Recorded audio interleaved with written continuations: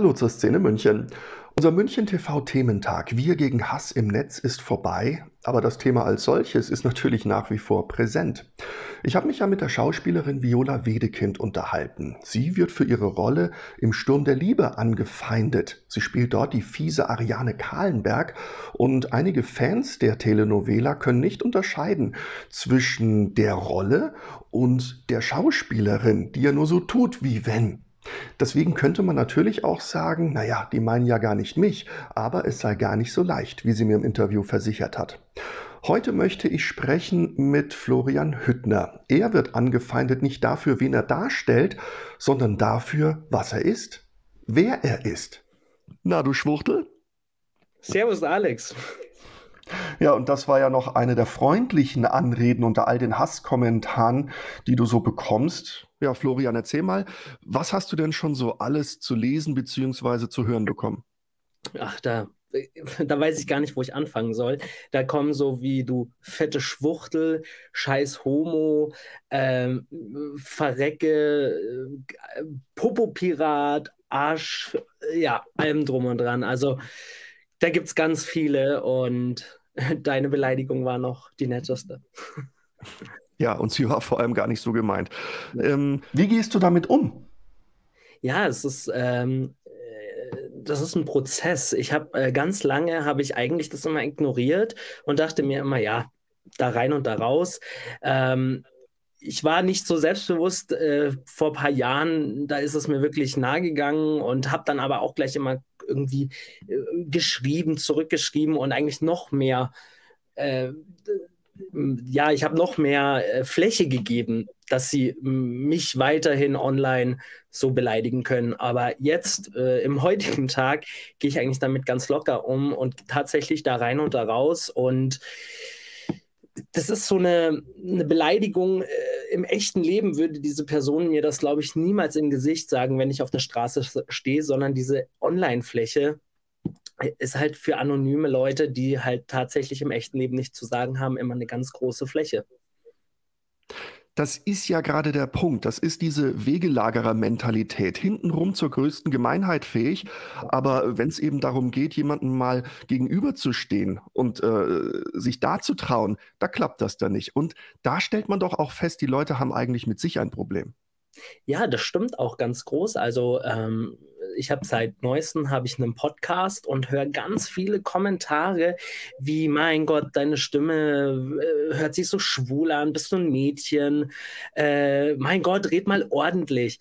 Aber das sind dann auch so Leute, wo ich mir denke, also sie, sie machen das öffentlich. Sie würden mir das gar nicht privat schreiben, jetzt zum Beispiel auf Instagram oder auf TikTok. Nein, das, das geht in Kommentare oder bei Bewertungen, keine Ahnung, Google, äh, bei den Podcasts. Und das sind halt dann so Punkte, wo ich mir denke, ja, ist schön für dich. Äh, du hast diese Meinung, aber da bist du einer der wenigen. Wünschst du dir manchmal, dass niemand wüsste, dass du homosexuell bist? Eine sehr interessante Frage. Ähm, tatsächlich nein. Ähm, ich finde, ich muss mich nicht verstecken oder wir müssen uns nicht verstecken. Klar, vor zehn Jahre, vor zehn Jahren oder so, wo ich tatsächlich noch nicht so selbstbewusst war, äh, habe ich mich auch nicht geoutet und dachte mir, ja gut, äh, das geht auch keinen an, aber theoretisch geht es ja auch keinem was an. Und äh, nee, ich bin stolz darauf, das, was ich bin. Und ähm, ich lebe seit fünf Jahren glücklich mit meinem Freund zusammen äh, in einer Partnerschaft und ich stehe auch zu ihm und ich stehe auch zu unserer Beziehung und das hat einfach keinen zu interessieren. Und ich kann heute einfach sagen, äh, nein, ich bin stolz darauf, auf das, was ich bin.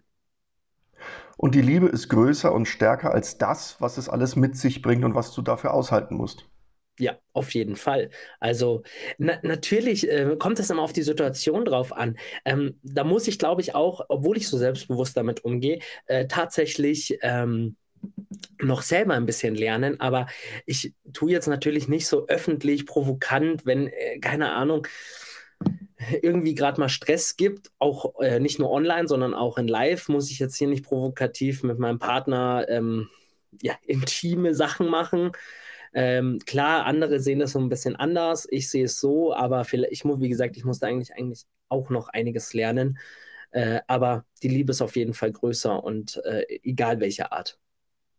Wenn es dir in der einen oder anderen Situation schon mal zu viel wurde, hast du dir da Hilfe geholt? Bist du zur Polizei gegangen oder zum Anwalt? Nee, tatsächlich habe ich das noch nicht gemacht. Also ich äh, rede natürlich mit meinen Freunden und auch mit meiner Familie drüber ähm, und versuche aber trotzdem dann wirklich äh, drüber zu stehen, was natürlich auch nicht immer richtig ist. Aber mh, hm, ich bin froh, dass es nie so eskaliert ist, dass ich sagen muss, okay, jetzt muss ich diesen Schritt gehen. Natürlich ist es kein guter Punkt, weil diese Leute einfach diese Angriffsfläche, egal in welcher Hinsicht, haben und immer weitermachen. Also es ist ja dann nicht nur bei mir, sondern vielleicht ist es dann auch bei Leuten, die halt sich gerade frisch outen und eh ein bisschen ängstlich sind und ein bisschen ja, Respekt vor diesem ganzen Leben haben und dann kommen, kommen dann so Vollidioten und äh, machen dich online nieder. Und äh, ja, das ist nicht gut.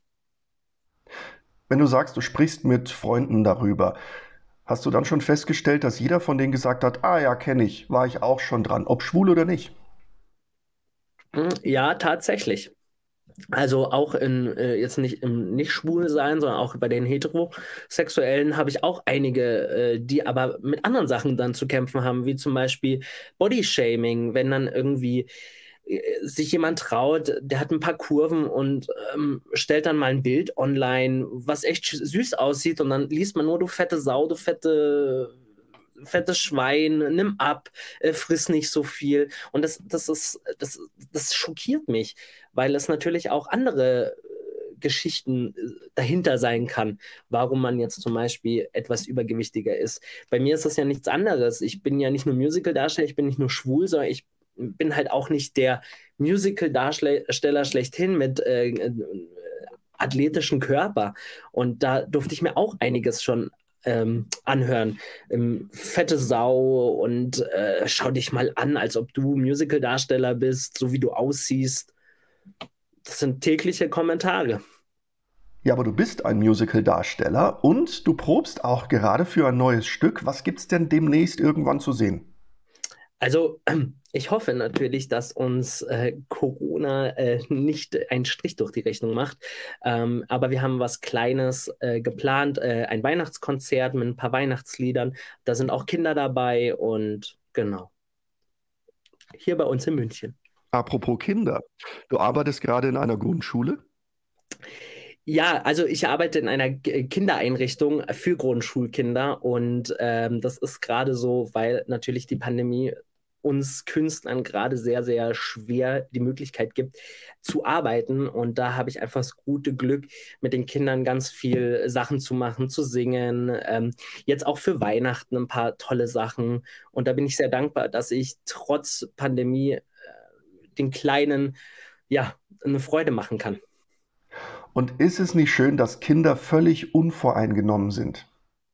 Total. Und das ist, und deswegen bin ich so glücklich auch darüber, ähm, weil die Kinder einfach, die, die, trotz dieser starken Probleme, die wir gerade bei uns haben, einfach glücklich, sie lachen, sie haben Spaß und wenn wir dann singen und ähm, äh, Weihnachtslieder singen, die gehen voll ab und machen mit und kreischen mit.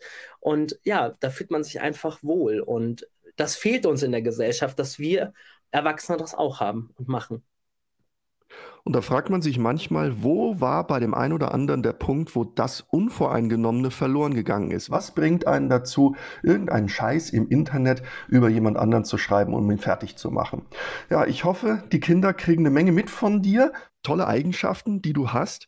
Ich danke dir, Florian, wünsche dir alles Gute. Eins vielleicht noch, du bist auch schon mal im Gärtnerplatz-Theater aufgetreten, oder?